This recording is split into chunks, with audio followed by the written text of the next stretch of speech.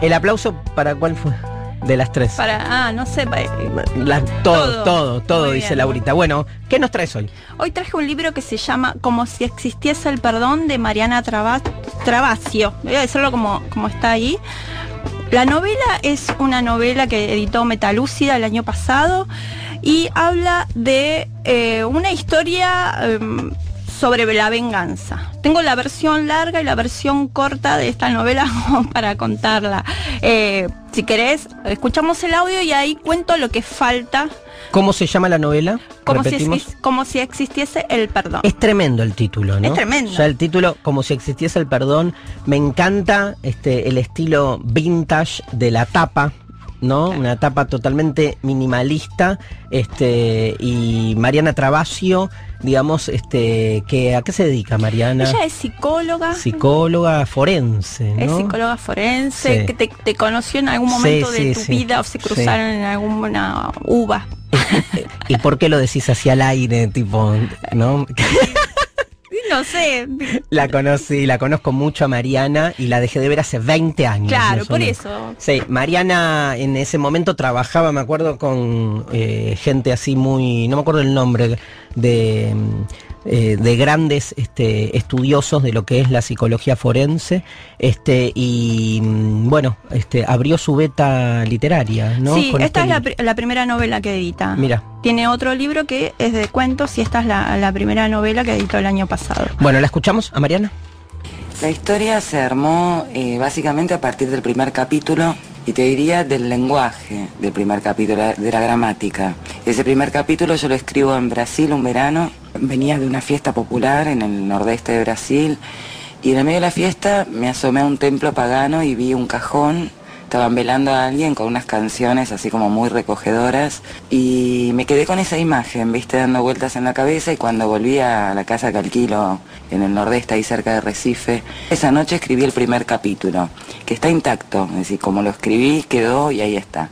Y después me pasé más de dos años abriendo y cerrando ese archivo, como no pudiendo seguirle la cadencia a la voz de Manuel, hasta, te digo, más de dos años después, una mañana que lo abro, y fue como una voz hermana y fue como, viste, empezar a seguir esa voz y a ver, bueno, y a tirar del hilo. Y entonces la trama, de algún modo, se arma a partir de la gramática de Manuel, te diría. Esa fue la manera en que se fue armando todo. Tiene un escenario quizás un poco de, de búsqueda de una cierta redención, ¿no es cierto?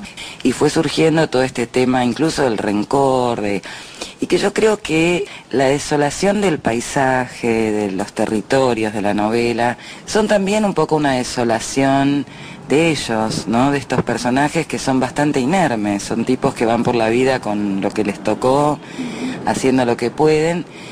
Y me parece que de algún modo también el lenguaje de la novela es de cierta desolación, ¿no? A mí me pasaba cuando, cuando escribía que Manuel no te dice amaneció, te dice el sol estaba en tal lugar, ¿no? Es decir, hay como una precariedad que es de paisaje, que es de, de cierta inermidad de ellos y de lenguaje también. como- una hermosura también en esa manera de decir, por lo menos a mí me sonaba como poético. Claro, y bueno, yo creo que por ahí lo vuelve poético porque hay esa mirada cándida sobre el mundo que precisa renombrar el mundo, ¿no? Es decir, como que como si el mundo no tuviese un, no- un, un modo de ser nombrado y hubiese que reinventarlo, ¿no? Y quizás eso lo vuelve un poco poético.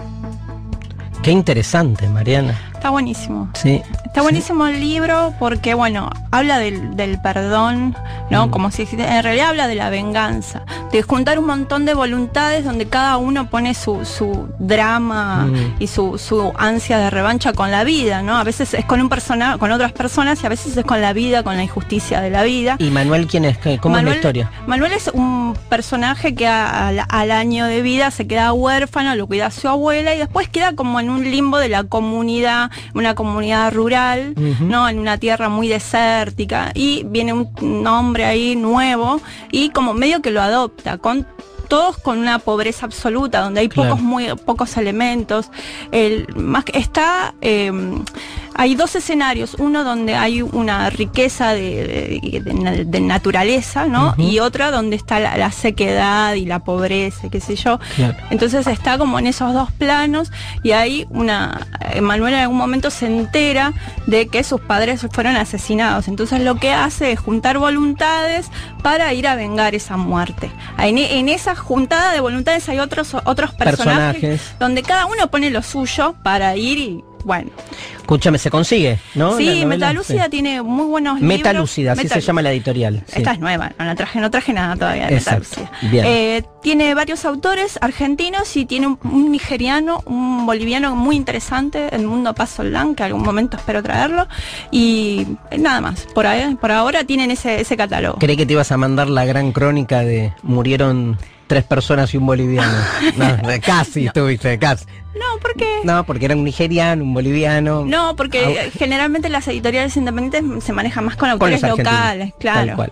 Che, bueno, buenísimo. Muchas ganas, aparte escucharla a Mariana Traba- Trabacio, cómo defendía su, su novela. ¿Viste Pero que- no la ataqué, yo se la lavaba. No, obvio, pero el que, el que escribe su, primer, su primera novela tiene como una especie de eh, apasionamiento, Sí. ¿no? Este, por su primer libro. Me parece que ahí hay una diferencia. Bueno, gracias Mariana Collante.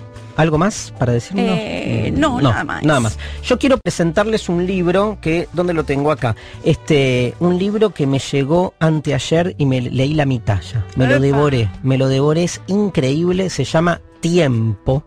Es de Rudiger Safransky. ¿Quién mierda es Rudiger Safransky? Es un gran biógrafo de filósofos. Ah.